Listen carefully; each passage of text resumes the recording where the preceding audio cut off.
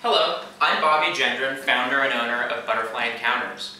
In this tutorial, we're going to demonstrate cold moist stratification. This is a treatment that several species of milkweed require before the seeds will germinate. So what you want to do is take a look at your seed packet and see if they require the cold moist stratification. If that's the case, you'll want to gather a few supplies.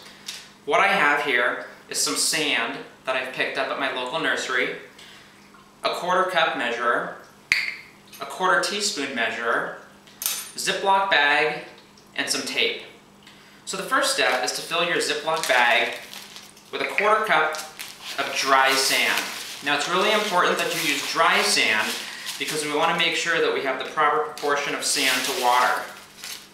Now once you have your sand in here, we're going to take a quarter teaspoon of hot water,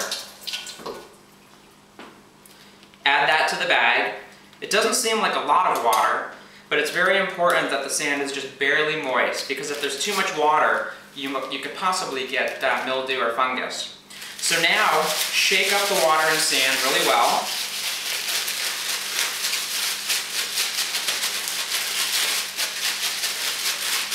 Once that's mixed, now you can add your seeds.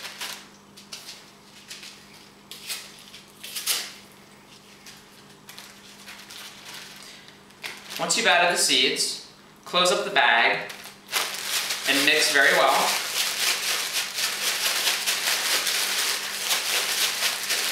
Now once it's mixed, I like to open the bag a little bit, get all the air out, and reseal it.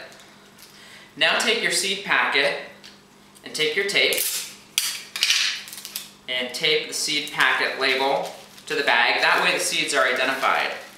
Now, the purpose of cold moist stratification is to replicate the cold winter with the moisture and the cold. So we're going to place this in the refrigerator for six weeks.